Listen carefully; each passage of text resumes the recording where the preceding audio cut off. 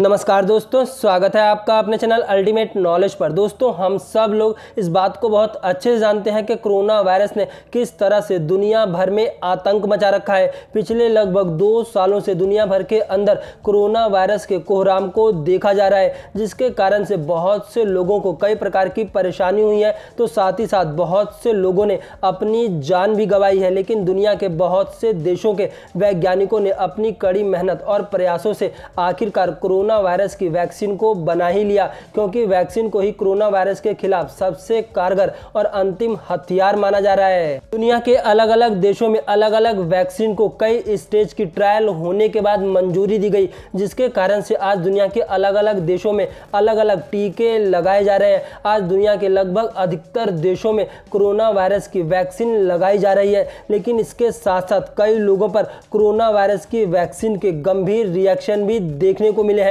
जिसके बाद उन लोगों को कई प्रकार की समस्याओं का और तकलीफों का सामना करना पड़ा है। कोरोना वैक्सीन से जुड़े रिएक्शन का एक ऐसा ही मामला लंदन में देखने को मिला है, जहाँ पर 19 साल की कॉटनी की वैक्सीन लेने के बाद अचानक ही तबीयत खराब होने लगी और कॉटनी के शरीर पर वैक्सीन के रिएक्शन भी दिखने लगे। कॉटनी इस बात को बताती है कि वैक्सीन लेने के कुछ देर बाद ही उनके पैरों में बहुत ज़्यादा दर्द होने लगा, जिस कारण से उनकी नसें काफ़ी गहरी होने लगी। ऐसा देख कॉटनी ने डॉक्टर से कंसल्ट किया। जैसे ही कॉटनी ने डॉक्टर से कंसल्ट किया तो उन्हें इस बात का पता लगा कि उनकी नसें अंदर से फट गई है, जिस कारण से उनमें से ब्लड बहने लगा है, जिसके कारण से कॉटनी को पूरे चार हफ़्ते तक हॉस्पिटल में एडमिट रहना पड़ा। कॉटनी ने अपनी स्टोरी को फेसबुक पर शेयर करते हुए लोगों से इस बात को कहा है कि अगर वो अपने रिएक्शन को थोड़ा सा भी लाइटली लेती और डॉक्टर से टाइम पर कंसल्ट नहीं करती तो उनके पैर तक काटने की नौबत आ जाती, क्योंकि उनके शरीर के अंदर नसें फट गई थी,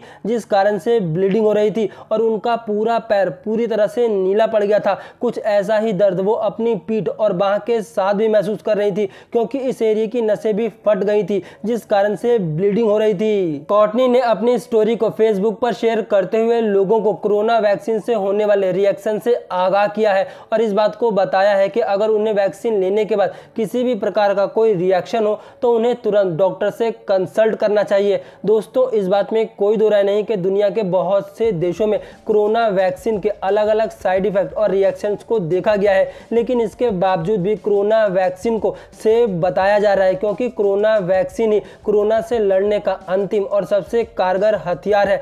डॉक्टर्स ने इस बात को कहा है कि कोरोना वैक्सीन लेने से किसी भी प्रकार की कोई भी दिक्कत नहीं है। हाँ वैक्सीन अलग अलग लोगों के साथ अलग अलग रिएक्ट करती है और ये उनकी बॉडी के सिस्टम पर निर्भर करता है। दुनिया में मौजूद कोई भी दवाई अपने आप में 100 परसेंट सिक्योर नहीं मानी जाती है। ज़्यादातर दवाइयों का कहीं ना कहीं पर कभी ना कभी साइड इफ़ेक्ट देखने को ज़रूर मिलता है। इसीलिए वैक्सीन से डरने से अच्छा है कि अपनी बारी आने पर वैक्सीन ज़रूर लगाए, क्योंकि वैक्सीन ही कोरोना को हराने का अंतिम और कारगर हथियार है। अगर आप लोग वैक्सीन नहीं लगाएँगे तो हमारा देश यूँ ही कोरोना से लड़ता रहेगा और हमारे देश को आर्थिक के साथ साथ कई प्रकार के अन्य नुकसान भी झेलने पड़ेंगे। इसीलिए अपनी बारी आने पर वैक्सीन ज़रूर लगवाएँ। अपनी आज की इस वीडियो में इतना ही।